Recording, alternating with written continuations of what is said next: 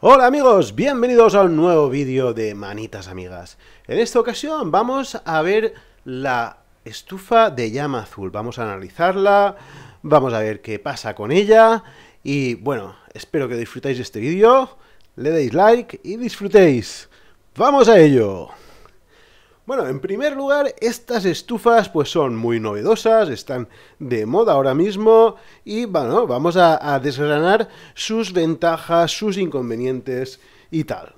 Es una estufa que se ve muy limpia, muy pulcra, tiene una visión espectacular.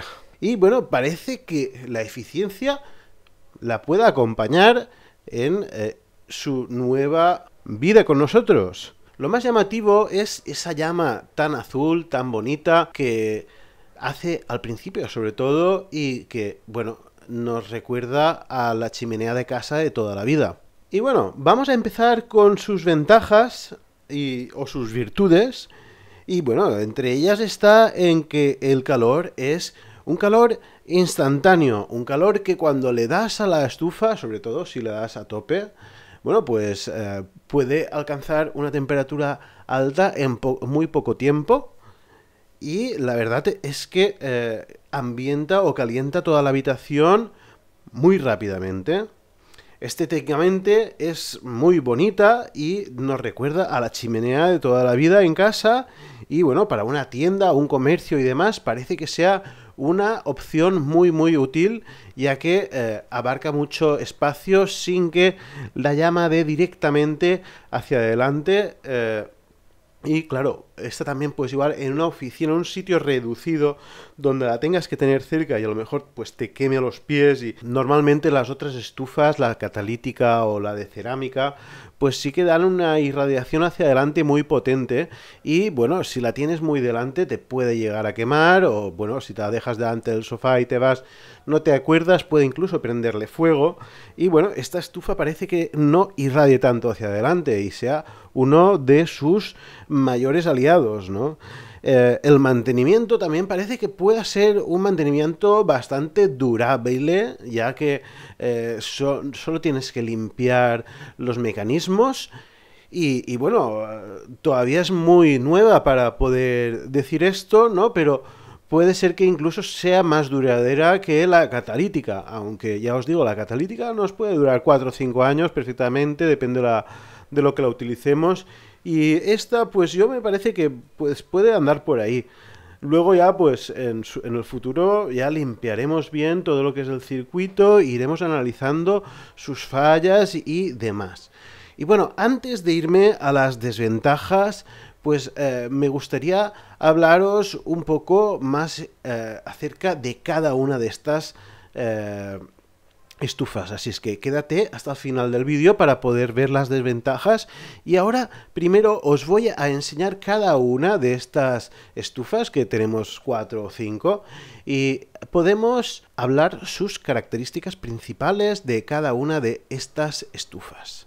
En primer lugar, hablaremos de este tipo de estufa que es la más económica del mercado, oscila el precio entre unos 60 y 100 euros. Su visión es muy atractiva, la llama se ve azul perfectamente y la verdad es que es bastante eficiente, calienta mucho espacio en poco tiempo, la robustez no es de las mejores, tiene una chapa un poco endeble, aunque bueno, cumple su función. En cuanto a reparaciones, pues bueno, todavía es bastante nuevo el tema de este tipo de estufas y no hay demasiado que aportar. Pero bueno, algo he visto ya por ahí y bueno, pues os comentaré el caso de una estufa que la compré nueva y salía media llama amarilla y media llama azul. Entonces, bueno, pues esto indicaba que estaba quemando más monóxido de carbono de lo normal. Por eso tuve que devolverla sin más problemas, la devolví, no intenté investigar sobre el problema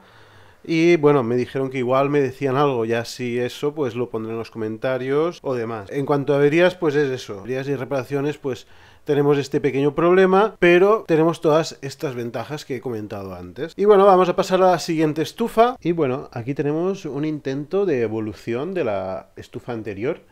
Y simplemente le han puesto delante un cristal templado y prácticamente el precio es el mismo, 86 euros me parece que estaba por ahí. La visión es atractiva, la verdad es que se ve bonita, de ver es bonita.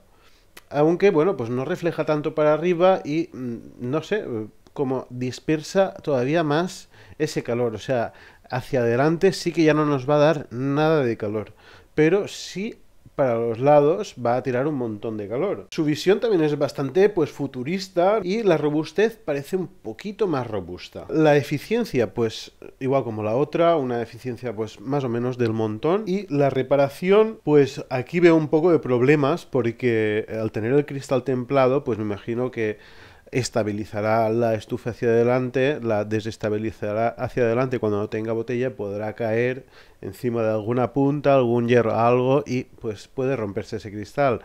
Entonces, ese es un problemilla que le veo yo ahí también a la hora de desmontar, montar, acceder pues le veo yo un poco de ese no sé qué. Y pues eso, las averías pues eh, van a ser un poco más difíciles de, o, tediosas de, de reparar. Y bueno, nada más, resumiendo, es la misma que la otra con un cristal. Pues esta estufa es muy bonita, parece una estufa de verdad, parece una chimenea de verdad, con su fuego y su leña. Pero bueno, a mí personalmente me ha dado un poco de pensar que tiene demasiado peso en la parte de adelante y bueno, si no tiene botella puede ser que al empujarla o, tal, pues se pueda desestabilizar muy fácilmente y caernos hacia adelante donde tiene el cristal y romper esta el cristal. Bueno, esto ya ha pasado, tengo algún conocido que le ha pasado sin mayores problemas, no ha cambiado el cristal y la ha continuado utilizando normalmente.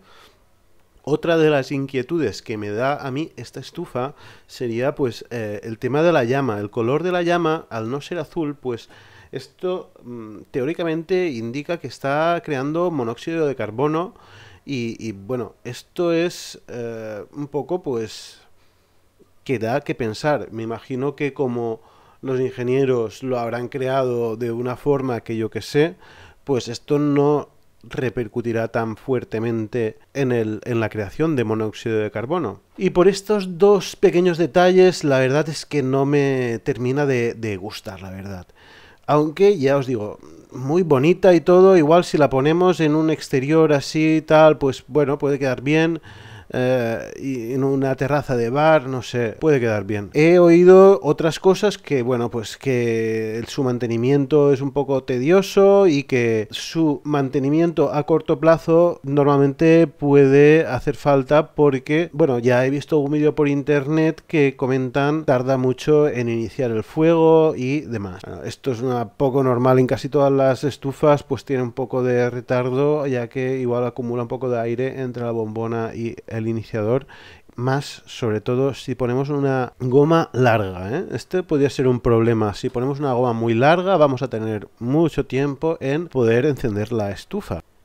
Y bueno, sin más, pasamos a la siguiente estufa. Y bueno, aquí tenemos esta de estilo futurista que, bueno, tiene un precio aproximado de unos 180 euros y su visión es muy futurista, muy bonita y es tipo industrial. Entiendo que es para la tienda un sitio muy grande en el que necesiten bastante calor y tener ahí pues una cosa que de gusto de ver, ¿no? robustez es bastante mejor que las otras estufas que tenemos en el mercado. La eficiencia, pues bueno, eh, es bastante eficiente porque, bueno, va a cubrir mucho espacio con mucha llama, aunque incluso tenemos la que tiene el termostato, que esta es todavía más eficiente ya que llega a la temperatura y baja la llama o corta. En cuanto a reparaciones, bueno, le estuve mirando lo que son los quemadores y tal y parecen más robustos que una estufa normal de las que hemos visto al principio, las de 80 euros y me imagino pues que tendrá menos averías. Así es que esta también sería un buen modelo para comprar ya que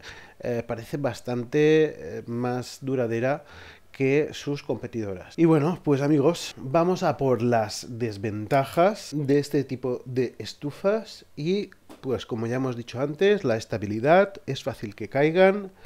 En segundo lugar está el mantenimiento, pues bueno, hay algunas que parece que su mantenimiento sea elevado y que eh, en un futuro pues sus materiales al ser un poco endebles puedan sufrir y no se puedan volver a reparar, ya que no parece que haya repuestos para este tipo de estufas es muy novedosa y todavía pues está por verificar todo esto y todavía no hay nada concreto.